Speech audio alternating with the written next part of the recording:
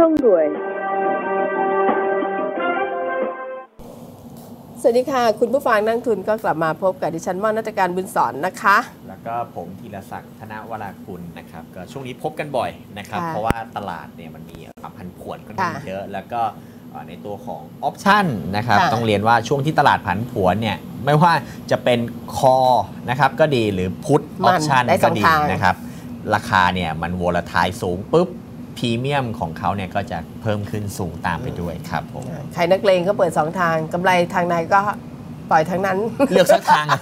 เลือกสักทางดีกว่าพี่เลือกสักทางดีกว่าโอเคเลือกสักโอเคทางดีกว่าครับคุณลองเลือกสักทางใช่พี่มาเปิดสองทางกำไรพุทธแล้วปิดระบบพี่ปิดทัน กำไรซื้อใหม่อะไรบางได้ทีเขาทันผิดเขาถูก ไม่หรอกเล่นลองอย่างเดียวครับเวลาใช่เราปิดเราก็ถูกต้องช็อตอย่างเดียวช็อต close โอเคอ่าเวลาเราโอเพนทั้งขาพูดกับขาลองอ่าขาใช่คอครับใช่ไหมแล้แล้ววก็ก็ลองพูดปิดไปลองคอนั่นเองใช่ครับอ่าเปิดโอเพนลองฮะครับอะคุณผู้ฟังนักทุนค่ะในตอนนี้เองนะคะบรรยากาศตลาดหุ้นไทยก็ต้องบอกได้ว่า มันมีความผันผวนเมื่อวานก็ลงไปเนาะครับผมอืแล้วก็นี่ก็ขึ้นมาวันนี้ดี10 จุด ใช่ครับลก็งลง 10 10 ขึ้นขึ้น 10 10 ครับ ถ้าเป็นไอเดียผมนะครับ ผมว่าเอ่อทรงเนี่ยมันก็ยังดูอึดอัดอยู่นะครับ เพราะว่าเอ่อการดิดกลับเนี่ยมันยังไม่มีปัจจัยบวกใหญ่ๆเนี่ยเข้ามาทรงนะครับอึดอัดอึดอัดอึดอัดอ่าไม่มีปัจจัยบวกใช่ครับพี่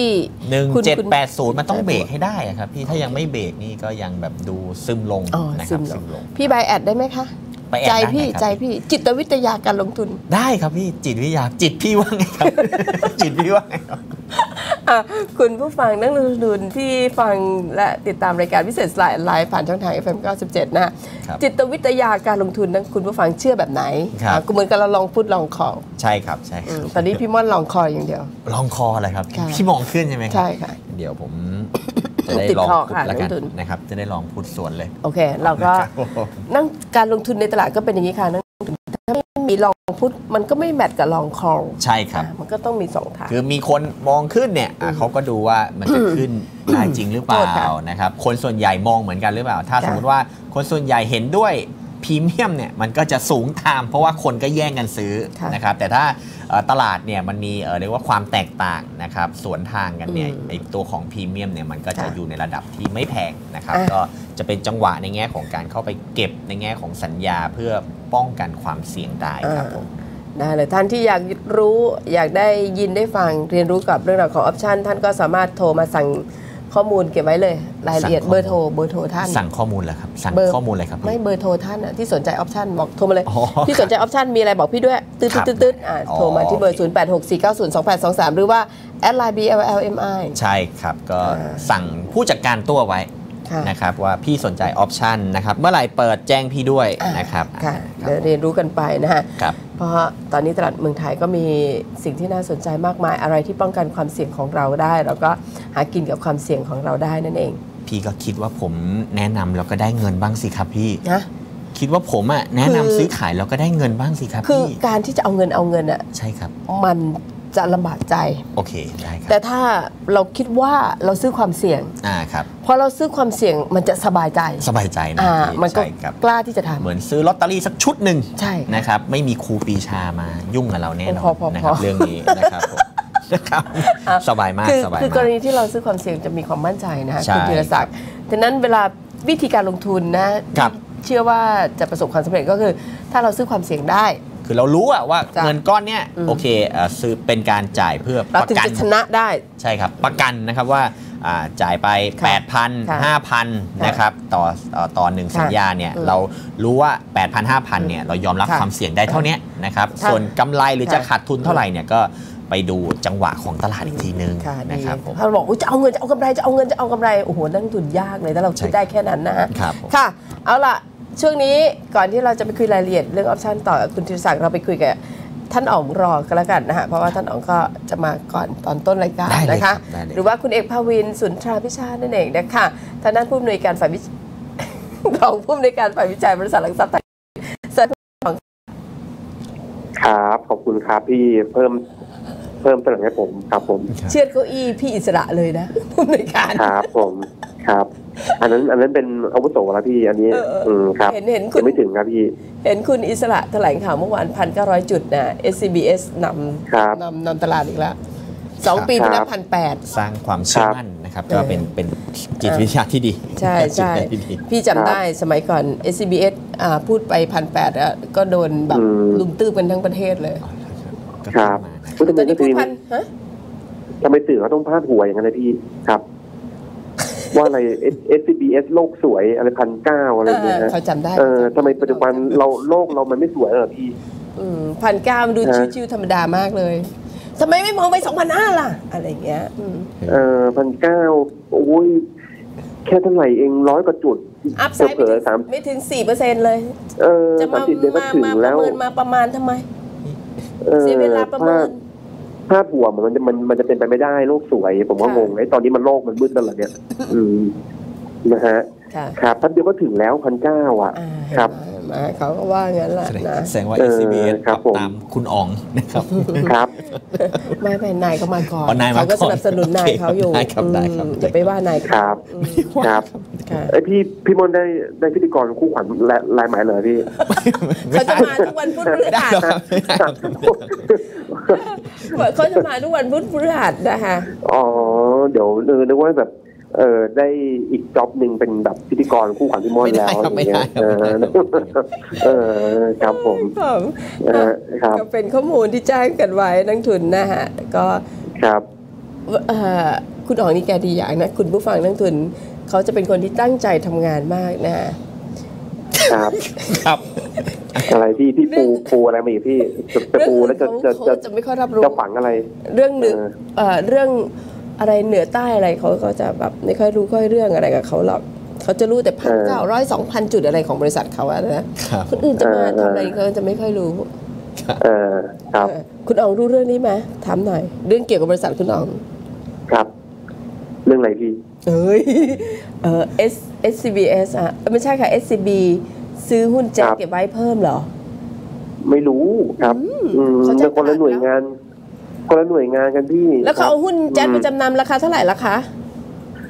ไม่รู้อืมเห็นไหมอืมทำไงถึงครับได้ข้อมูลจากคุณอ๋องอะนะ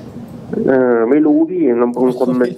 มีไชนิสวออยู่ครับพี่เขาคนละหน่วยงานกันพี่โอ้ครับค่ะค่ะอ่านั้นแบงค์ของครับคุณอ๋อง SCBS เนาะเออใช่มีคสีรับเขียวก็ด้วยออบเจกตีฟต่างกันอันนั้นก็แล้วแต่เขาต้องการแบบ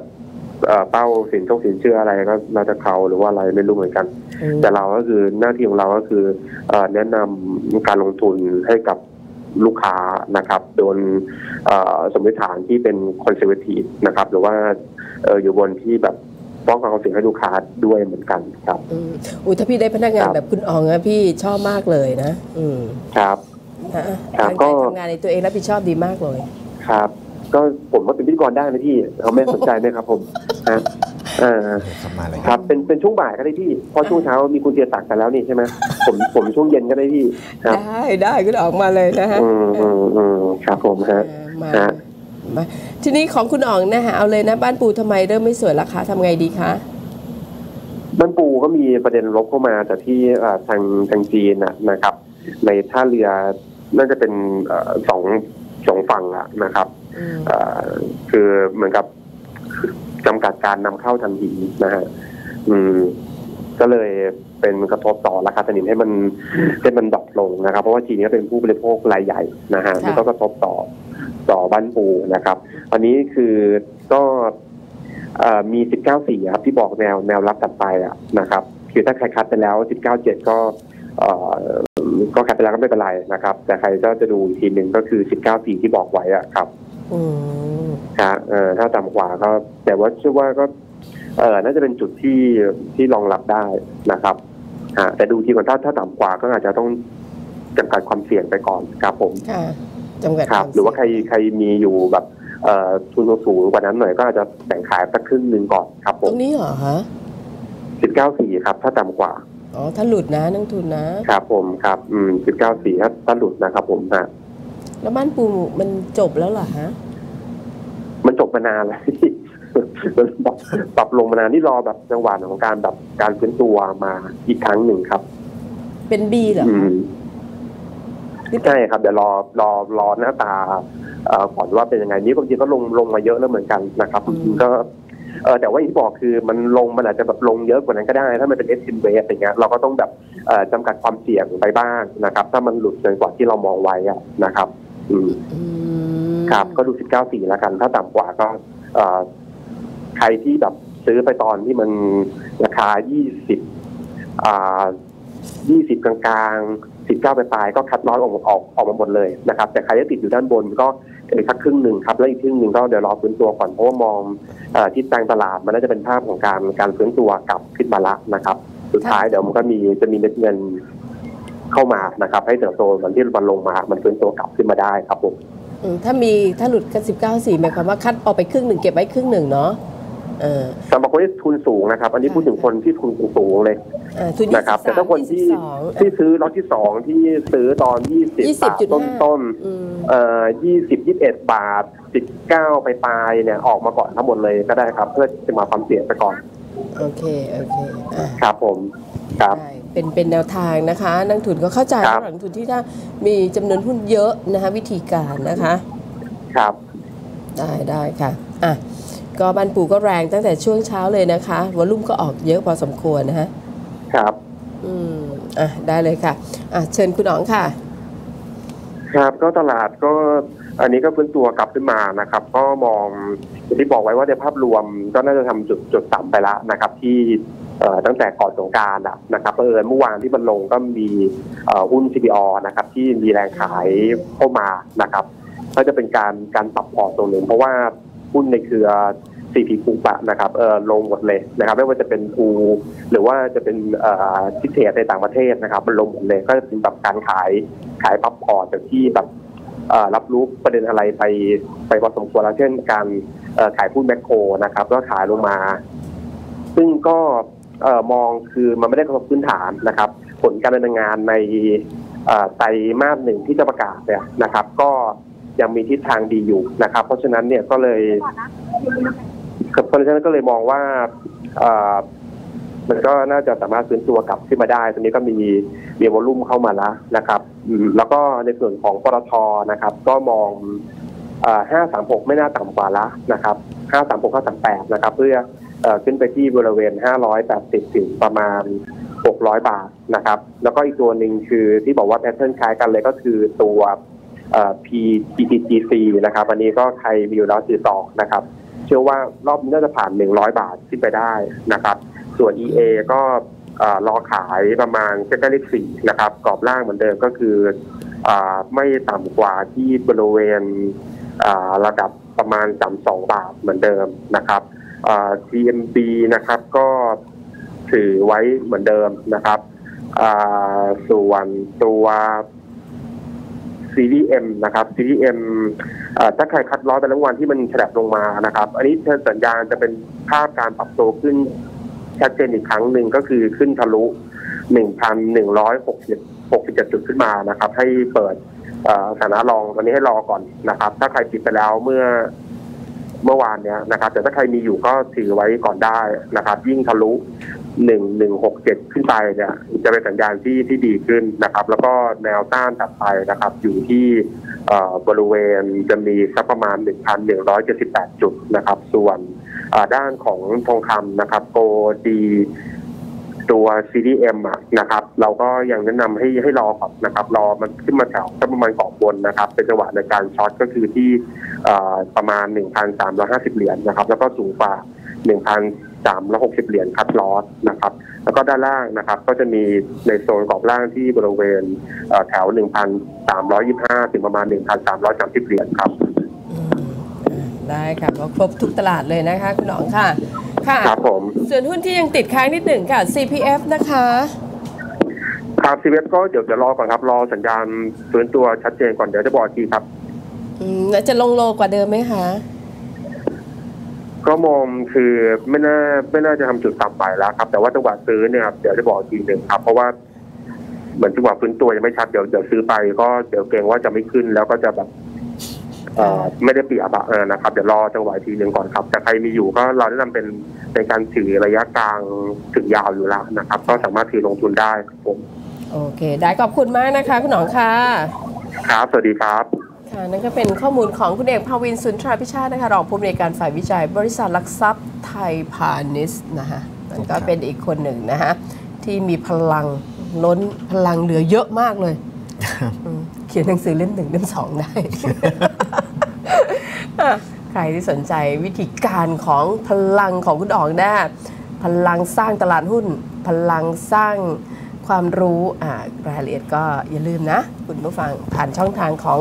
รายการพิเศษสไลด์ไลน์ที่เบอร์ 0864902823 หรือว่า Line ID at BLLMI นั่นเองนะคะ รวมทั้งหนังสือจุจุ จุจุหุ้น backdoor listing จุจุถ้าสนใจก็สอบถามไปที่เบอร์ดังกล่าวได้ด้วยนะ นักทุนนะ พวกเราคนกันเองนะฮะเราเรียนรู้พวกเราว่าใครเป็นใคร ใครทำอะไร รู้เท่าทันกันหรือเปล่า รู้เขารู้เรา รบร้อยครั้งก็ชนะร้อยครั้ง เงินมีปะครับนั่นนะสิ รบอย่างเดียวถ้าไม่มีเงินก็ไม่สามารถนะฮะนักทุน ใช่ครับ ใครนะพี่อะ เดี๋ยวเราไปพูดคุยกับคุณประกิตสิริวัฒนเกตนะคะผู้อำนวยการฝ่ายวิจัยบริษัทหลักทรัพย์กสิกรไทยนะฮะสวัสดีค่ะคุณปิงค่ะสวัสดีครับพี่ม่อนครับ ค่ะ คุณปิง คุณปิงครับผมพลังคุณปิงเยอะไหมทำมาหากินในตลาดตอนนี้อะเอ่อมีแรงไหมไม่ค่อยเข้าใจคำถาม คือคือมีแรงทำมาหากินเยอะไหมวันนี้เหรอครับ อืมวันนี้ก็มาทำงานตามปกติครับพี่เหรอ แล้วเพราะว่าแบบว่าบางวันแบบทำแบบปกติร้อยเปอร์เซ็นต์ก็ขึ้นมาเป็นร้อยห้าสิบมีไหมสักวันไหมอะไรร้อยห้าสิบครับพี่ไม่ค่อยเข้าใจคำถามพี่คืออยากทำงานเยอะๆมีไหมอ๋อเยอะกว่าที่ก็ที่ทำอยู่มีไหมอ๋อก็ทำเต็มที่พี่เท่าที่มันจะมีแรงครับเอาพี่นี่นี่เนี่ยกสิกรนะ เด็กกสิกรพูดครันะบเออเมื่อกี้ครับพี่พูดกับเด็กไทยพาณิชย์ไปแล้วนะอ๋อ เด็กไทยพาณิชย์เขาเต็มที่เลย มาเท่าไหร่ก็เท่ากันเอาเอาเอาทำทำทำอะไรเงี้ยก็ก็ทำเต็มที่เท่าที่แรงมันจะมีแหละพี่อืมครับถ้าไม่ทำงานก็อยู่บ้านก็แค่นั้นแหละพี่ใช่ไหมเออต้องมาทำงานก็คือต้องทำงานแค่นั้นเอ๊ะค่ะ อ่าอ่าครับได้เลยนะฮะคุณปิงครัอะบเป็นไงบ้างคะตลาดวันนี้เริ่มดีขึ้นก็จากเมื่อวานก็ดีขึ้นดีขึ้นดีขึ้นเนี่ยที่เราได้คุยกันก่อนสงกรารนะครับพี่ว่าหลังสงกรารมาเนี่ยน่าน่าจะเห็นอาการที่ดีขึ้นค่ะ ต่างประเทศเองอาจจะมีช่วงที่เราเสาร์อาทิตย์มีความกังวลเรื่องของซีเรียบ้างแต่สุดท้ายแล้วก็อย่างที่เห็นนะครับ ที่ว่ามันไม่น่าจะมีการบานปลายนะครับ ผมเองก็มีการเขียนใน Facebook แฟนเพจอะไรไปเยอะแล้วแหละ คงไม่ต้องไปย้อนความมาก แต่ว่าโดยรวมแล้วเนี่ยตอนนี้ตลาดมันกำลังเบี่ยงเบนความสนใจไปที่ผลประกอบการนะครับตลาดหุ้นสหรัฐก็ผลประกอบการออกมาดีมากนะครับโดยเฉพาะพวกภาคการเงิน week นี้เขาก็มีการประกาศงบ 50 กว่าบริษัทอะมันก็มันก็น่าจะกระตุ้นใจเขาได้ บ้านเราเองนี่ก็สตาร์ทก็เอ่อจากกลุ่มธนาคารพาณิชย์สัญญาณดีมากเลยนะครับงบ KTC กับ Tisco ออกมา มันก็เลยทำให้มีความคาดหวังว่าถ้าอย่างเงี้ยไอ้ที่เรากังวลว่าแต่ละแบงค์เนี่ยว่าเออที่มันอาจจะออกมาเราไม่สวยมากเนี่ย ก็ความกังวลตรงนี้ก็หมดไป มันถึงได้เห็นการไล่ซื้อกลับขึ้นมาบ้างนะครับค่ะนั้นภาพตลาดโดยรวมแล้วผมว่าดูดีดูดีขึ้นดูดีขึ้น แล้วก็ถ้าเป็นไปได้ก็อยากจะให้ส่งตัวอย่างเงี้ยไปเรื่อยๆ นะครับ แล้วพอปลายพฤษภาก็ยังเชื่อว่า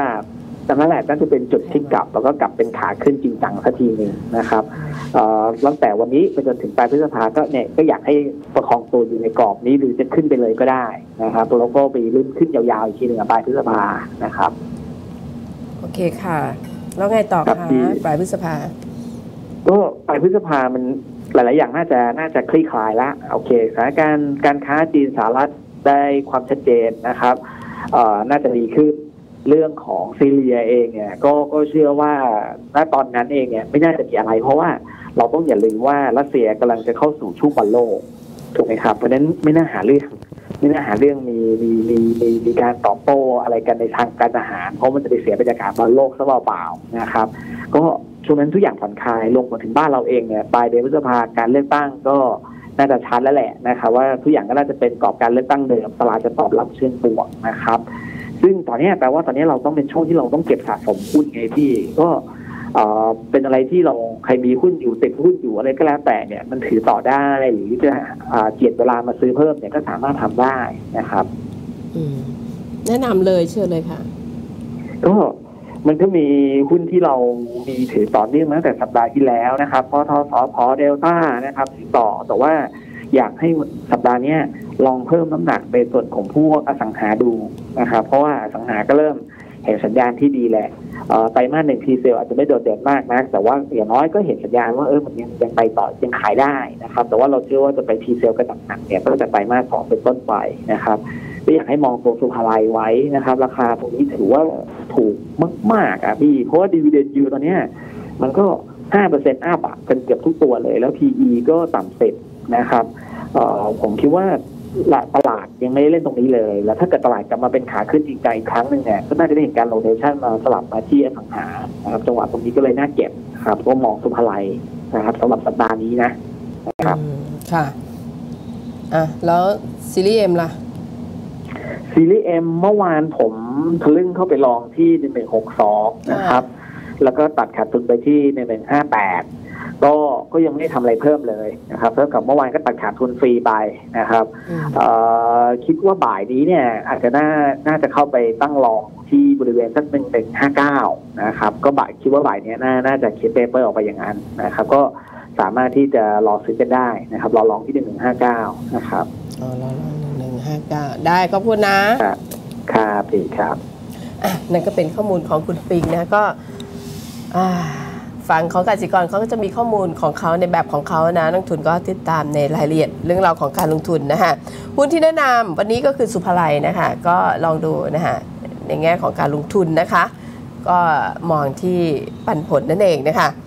อะก็เป็นรายละเอียดครบถ้วนนะคะ ฝั่ง SBS ไปก่อนหน้าเคเซก นักทุนก็ใช้วิจารณญาณในการฟังและตัดสินใจนะฮะถึงมุมมองที่ต่างการลงทุนนะคะใช่แบบไหนแล้วก็มากลั่นกรองนะฮะนักทุนกลั่นกรองเสร็จแล้วเราก็เชื่อกันแบบไหนเราก็ไปศึกษาข้อมูลเพิ่มเติมนะ ก็อยากให้นักทุนได้มีความรู้ กันเยอะๆในเรื่องราวของการลงทุนนะฮะเพราะเรื่องราวที่เกี่ยวกับเงิน เรื่องราวที่เกี่ยวกับเก่งกำไร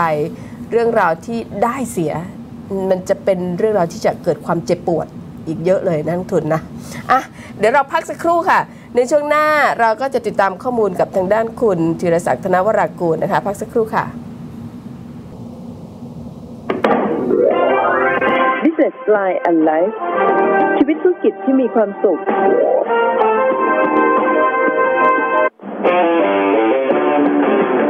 ฟินแลนเซียฮีโร่ให้ทุกการลงทุนเป็นเรื่องง่ายส นใจติดต่อ 02 782 2400 กด 2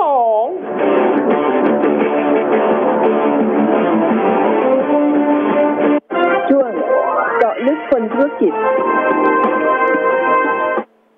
คุณผู้ฟังนั่งทุนเดี๋ยวเราไปพูดคุยกับคุณธีรศักดิ์นะคะอ่าคุณธีรศักดิ์เมื่อกี้เราก็อุ่นเครื่องกันไปแล้วนะคะครับในส่วนของอมุมมองนะครับของผมนะครับผมมองว่าการที่ตลาดนะครับยังเคลื่อนไหวนะครับภายใต้แนวโน้มขาลงนะครับที่ระดับ 1,780 นะครับ1,780 เนี่ย ความเสี่ยงนะครับในแง่ของการปรับตัวลดลงนะครับของ Set Index เนี่ยยังมีนะครับค่ะแล้วก็เอ่อมองแนวรับนะครับที่บริเวณ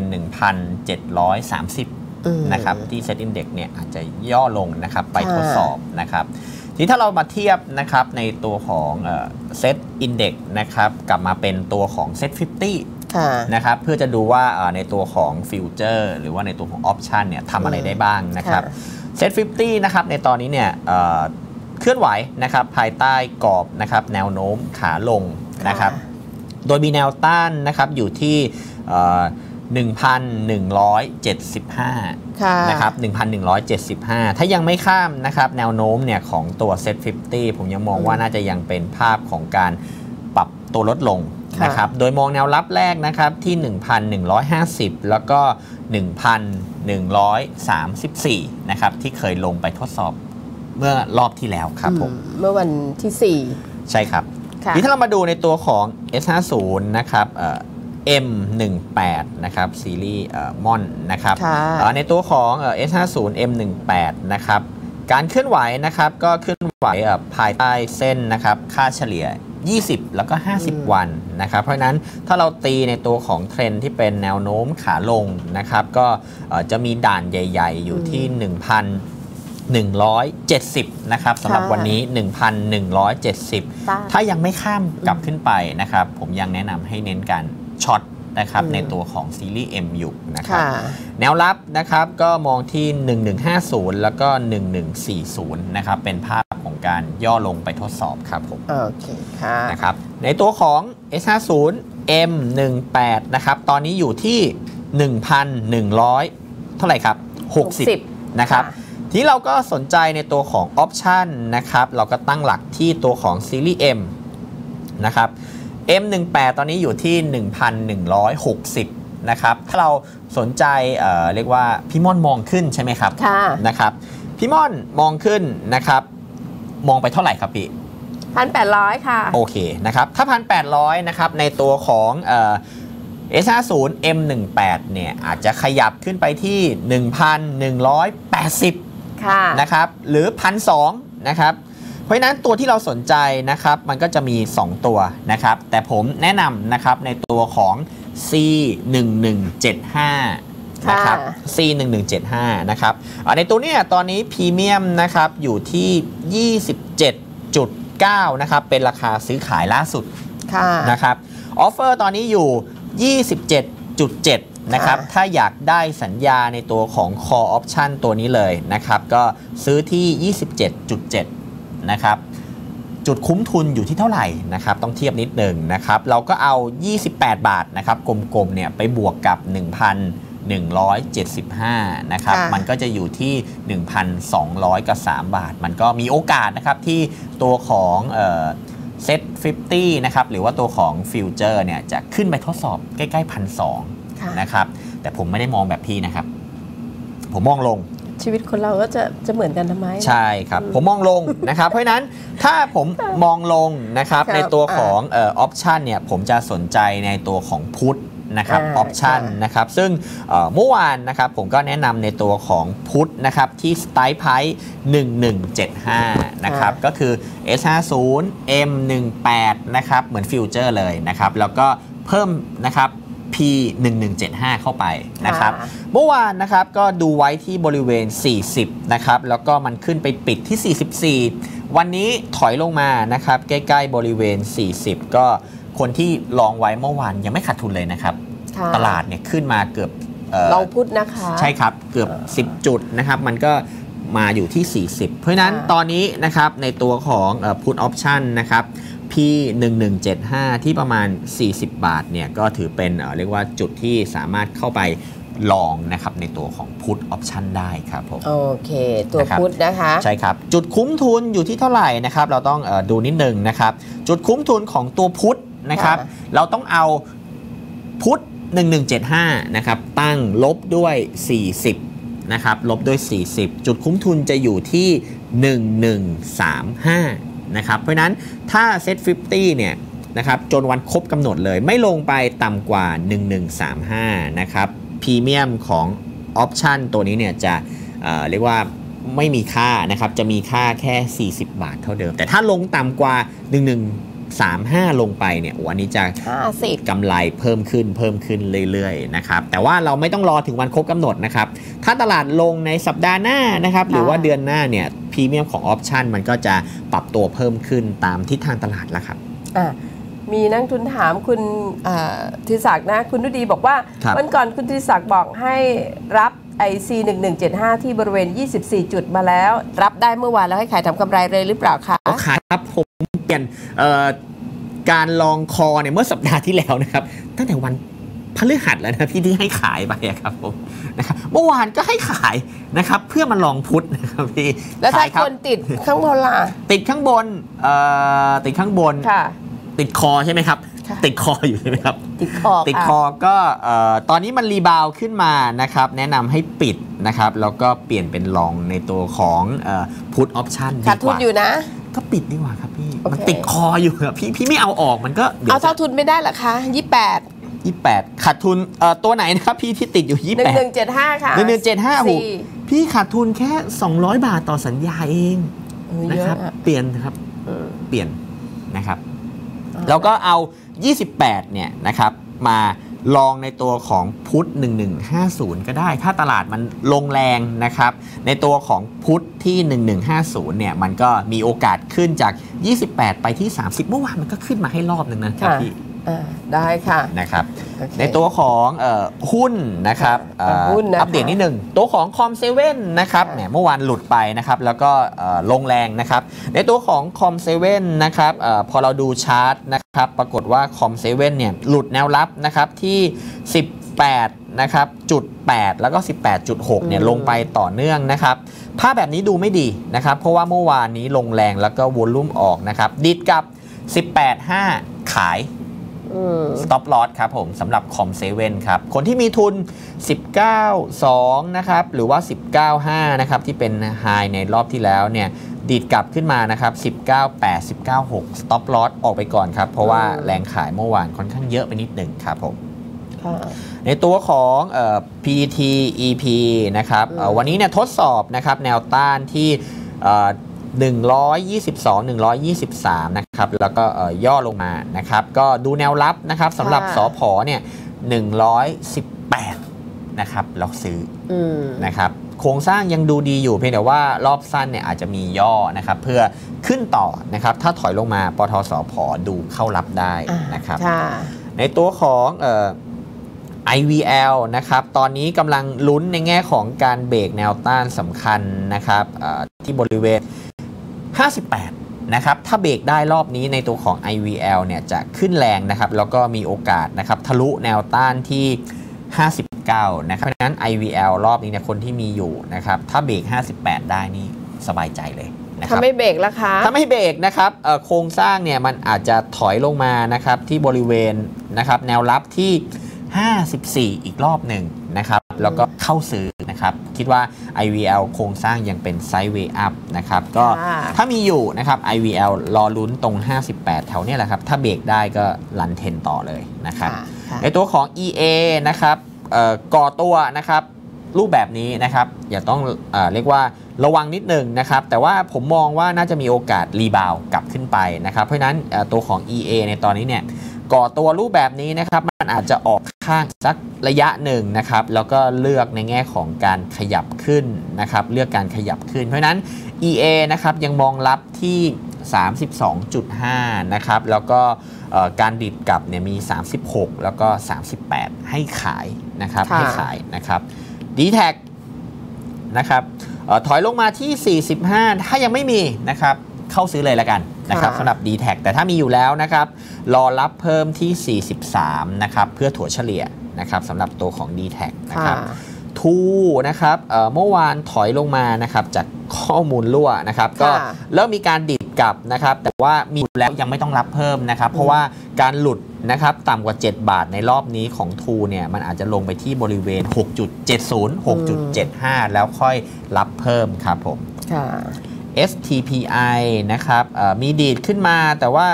โครงสร้างเนี่ยมันยังซึมอยู่นะครับรอการซึมลงอีกสักรอบหนึ่งนะครับในรอบนี้เนี่ยถ้าไม่มีนิวโลนะครับจะเป็นจังหวะในการเข้าซื้อนะครับเพื่อถัวแล้วนะครับสำหรับตัวของ STPI นะครับรอบที่แล้วทำโลไว้ที่ 4.18นะครับ 4.18 ถ้ารอบนี้ซึมซึมๆลงมานะครับ ที่บริเวณ 4.20 แล้วเริ่มดิดกลับเนี่ย เข้าซื้อเพื่อถัวเฉลี่ยครับค่ะอะ มีนักลงทุนอยากทำอมตะอมตะนะคะครับอมตะไอยพี่หวานก็เชียร์ไปไม่ใช่เหรอครับ ไม่รู้ค่ะเหรอครับไม่เชียร์ค่ะเอาในตัวของอมตะนะครับเอ่อเทรนด์นะครับอ่าในแง่ของแนวโน้มนะครับอ่านะครับเอ่อรอบนี้นะครับถ้ามีเอ่อเรียกว่าการดีดใหญ่ๆนะครับจะมีแนวต้านนะครับอยู่ที่ 21.80 นะครับถึง 22 นะครับตรงเส้น 200 วันตรงนี้เลยนะครับเป็นจุดขาย นะครับเป็นจุดขายนะครับแถวนี้นะครับแล้วก็เหนือขึ้นไปก็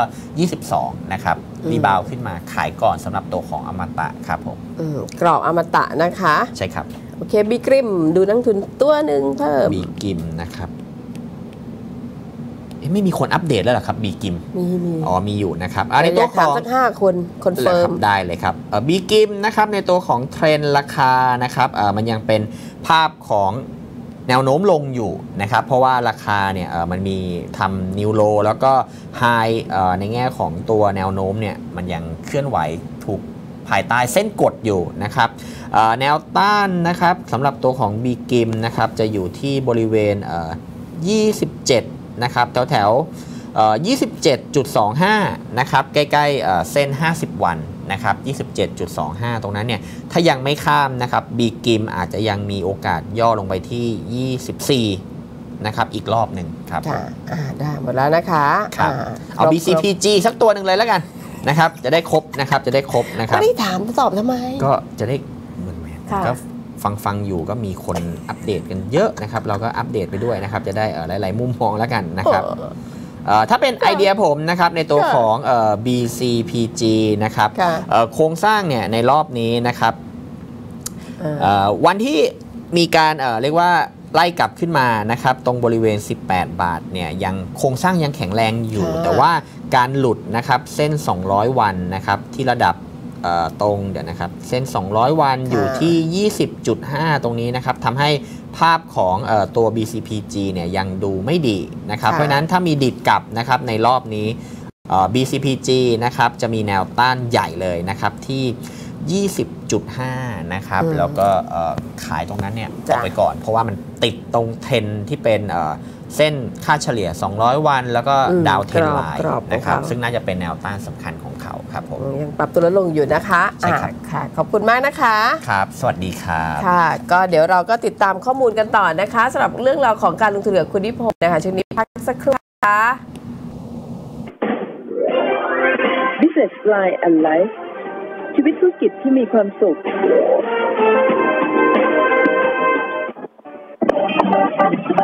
สนับสนุนรายการโดยสถาบันการลงทุน CICC บริษัทหลักทรัพย์ไอราจำกัดมหาชน บริหารงานโดย คุณนิพนธ์สุวรรณประสิทธิ์โทร 02-684-8867ถึง8ตามสุรีสแควร์ชั้น20 ที่เดียวเท่านั้น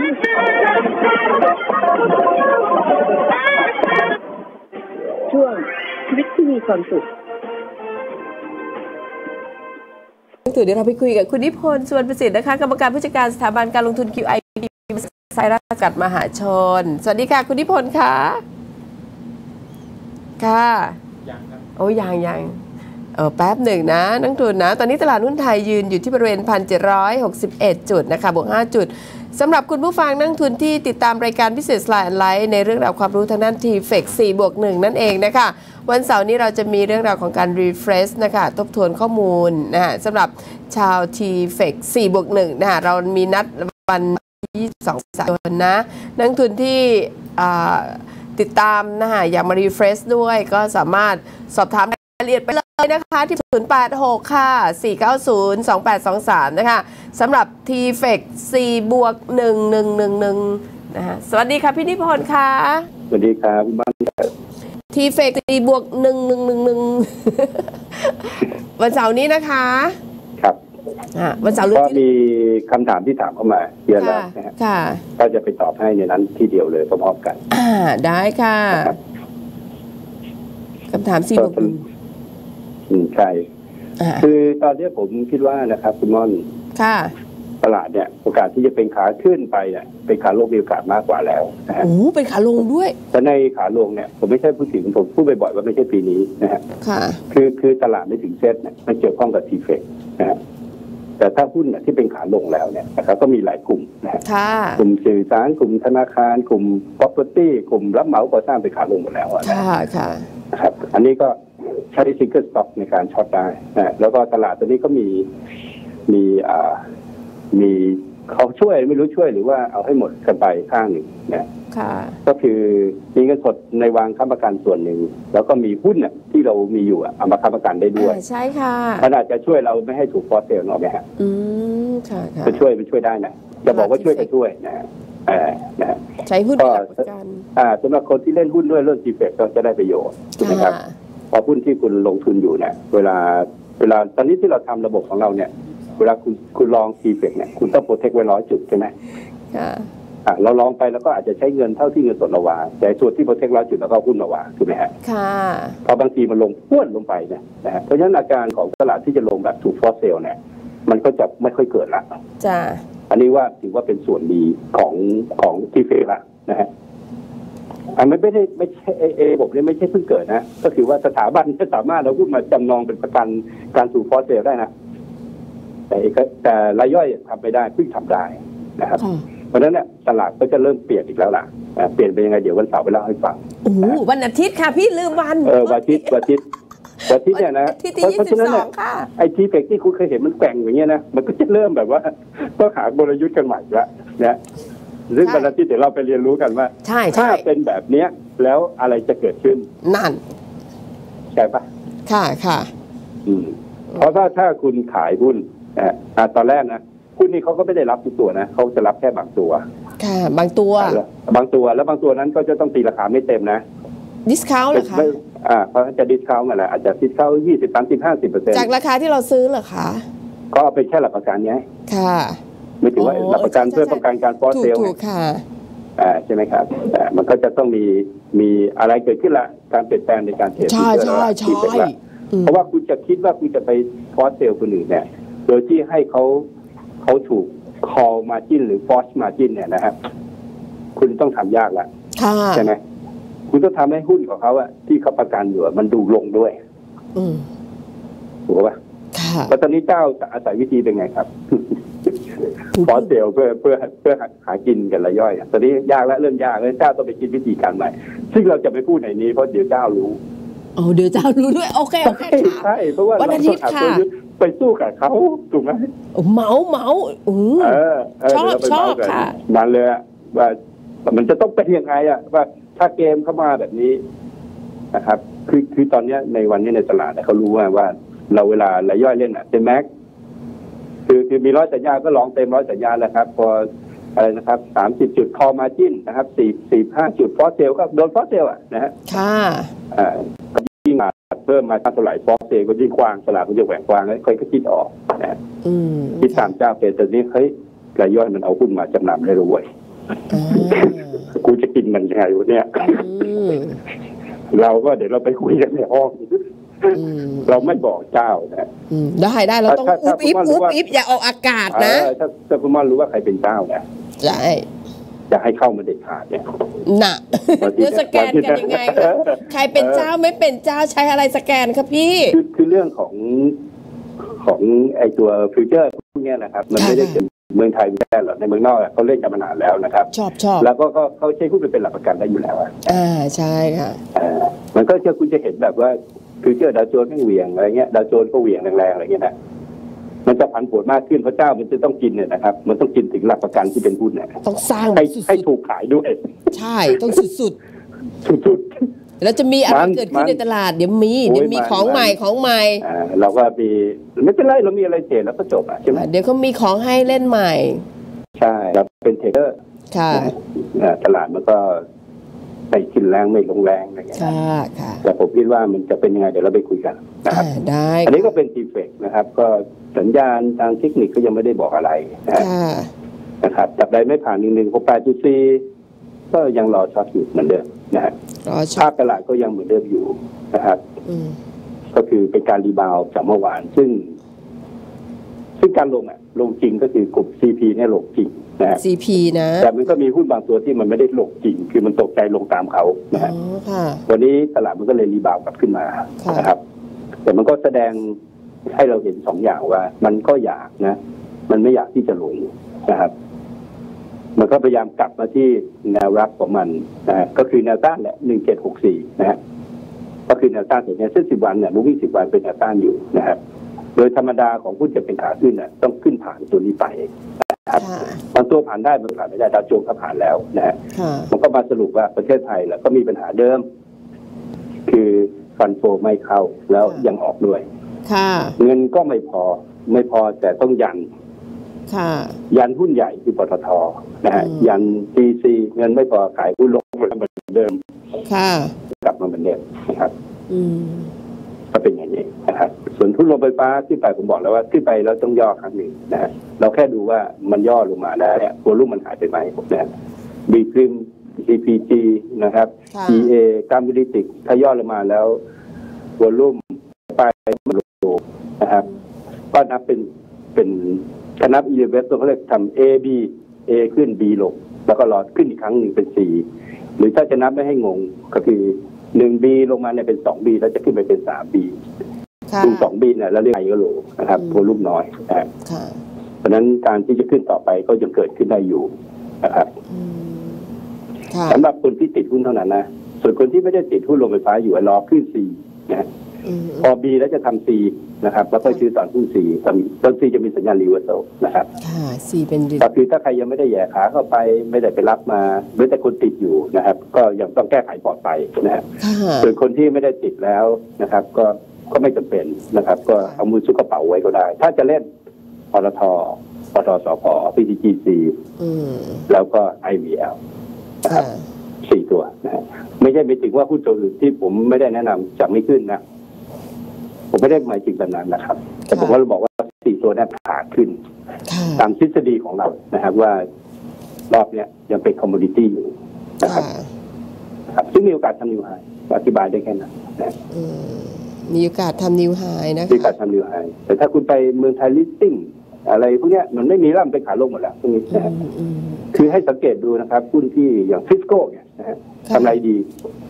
ดีมากไปหรือเปล่าดูดีๆอืม ถ้าดีมากไปก็เป็น peak ไปแล้วนะฮะอ่าค่ะเราให้ดูว่าเวลากำไรเขา peak อะราคาเขา peak ไหมอืมราคาหุ้น peak ก็ปะทำ new high ปะถ้าไม่ทำ new high นะครับ แสดงว่าจุดสูงสุดอะผ่านไปแล้วอืมนะครับค่ะอันนี้คือการดูใช้เทคนิคในการดูค่ะนะครับทิสโก้ก็ยังอยู่ที่ high เดิมอยู่กำไร high แต่ราคาหุ้นต้องวิ่งไปทำ new highนะเก้าฮะสิบห้าก็ก็ไม่ถือว่ามันก็ยังขึ้นต่อได้อยู่นะในกลุ่มค่ะนี้นะครับ แต่ถ้ามีบางตัวประกาศออกมาผมยกตัวอย่างสวัสด์นะฮะค่ะผมยกตัวอย่างละกันสวัสด์ยังไม่ได้ประกาศนะครับ ประกาศผลการมีเงินมาแล้วราคาหุ้นอยู่ต่ำกว่าไฮที่70แสดงว่าสูงสุดของการทำกำไรโตนะได้ผ่านไปแล้วนะฮะค่ะแล้วหุ้นก็จะเริ่มไปขาลงนะครับอืมต้องเอาตัวรอดอย่างเดียวตอนนี้นะครับค่ะใครอยากรอดแบบนี้29เมษายี่สิบเก้าเมษาหัวตูดนะคนคะละเรื่ทุอกงกันคตัวนตูดคนละเรื่องกัน ใครเทรดหุ้นอยากรู้เรื่องหุ้น หัวใช่เป็นยังไงตูดหมายถึงว่าบอทตอมอะเป็นยังไงพอเอาตัวรอดได้นะฮะนะครับผมยกตัวอย่างว่าตอนนี้เราเห็น BCPG ลงมาอยู่นะเราก็ดูว่ามันจะเป็นไฮโลไหมนะค่ะถ้ามันเป็นไฮโลก็ซื้อได้ แต่ถ้ามันมันลงไปที่ อ่าลงมาแล้ว เอาว่าดูวันเนี้ยตัวรุ่มเจ็ดร้อยล้านไม่ใช่ละแสดงว่าขึ้นเอยังไม่จบ ขึ้นเอยังไม่จบอาจจะลงไปที่สิบเจ็ดบาทห้าสิบใหม่อะไรเงี้ยใช่นะเอไม่จบมันนะช่วยเราได้อะไม่จบเพราะเราเล่นหุ้นแบบนี้ ถ้าเราใช้เทคนิคเข้าไปเราต้องไม่มีราคา อาจจะลงใช่ไหมเอาขาย ค่ะเราก็ต้องดูถึงขึ้นวันนะครับขายราคาไหนก็ได้นะครับค่ะไม่เกี่ยว แต่เมื่อวานเป็นแท่งแดงวันนี้ก็เป็นอะบอกแล้ว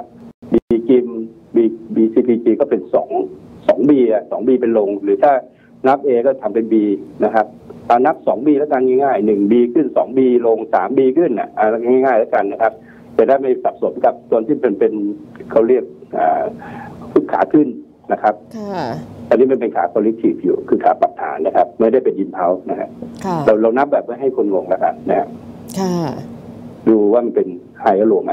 แบบเนี้ยนะครับ หรือปตทปตทสผปตทลงมาแถวนี้ซื้อได้ไหมยืนยันว่าซื้อได้นะครับค่ะอืม นะนักทุนพอเอาตัวรอดกันนะ วันที่ดู29เมต้องมั่นใจษายก่อนนว่าปตทอยู่ใน เป็นหุ้นที่อยู่ใน stage เนี้ย stage สี่ห้าเนี่ยกลุ่มน้ำมันกลุ่มปตทยังขึ้นอยู่นะครับสผยังขึ้นอยู่ อันนี้ต้องเข้าใจสองเทคนิคต้องแม่นถ้าจะเก็งกำไร เพราะว่าหุ้นพวกนี้ไม่ใช่หุ้นลงทุนนะฮะค่ะอะขอบเป็นคุหุ้ณนเก็งกำไร ขอบคุณมากนะคะ พี่นิพนธ์ ครับสวัสดีครับสิ่งที่คุณนิพนธ์พูดถึงนะคะในวันเสาร์วันอาทิตย์ที่ 22 เมษายน เรื่องราวของ t f e c 4บวก1นักทุนที่สนใจเขามีอะไรเปลี่ยนแปลงในตลาด ต้องฟังนะว่าเป็นยังไงกันบ้างนะคะสำหรับชาว t f e c 4บวก1นะคะ แล้วก็ในส่วนของชาวหุ้นท่านที่ชอบเทรดหุ้น รู้ได้ไงว่าซื้อหุ้นจุดต่ำกับขายตรงบริเวณบนหัวกระตุนนั่นเอง วันอาทิตย์ที่29 เมษายน เดือนนี้ทั้งเดือนเลยนะคะ นักทุน 2 อาทิตย์เลยที่เราจะมาเติมเต็มข้อมูลกัน รายละเอียดนะคะ ก็สอบถามกันได้นะคะที่เบอร์ 0864902823 ค่ะ หรือ Line ID at BLLMI นั่นเอง at BLLMI พวกเราชาววงการหุ้นนะคะเราต้องมาติดตามข้อมูลไปพร้อม ๆ กันสำหรับวันนี้ขอบคุณนักทุนที่ได้ติดตามรายการมาก ๆ เลยนะ เดี๋ยวเราเจอทันเทพคำนวณต่อเลยใน Facebook Live ของรายการ Business Line and Live ในช่วงนี้ลาคุณผู้ฟัง FM 97 แค่นี้ก่อนนะคะ สวัสดีค่ะ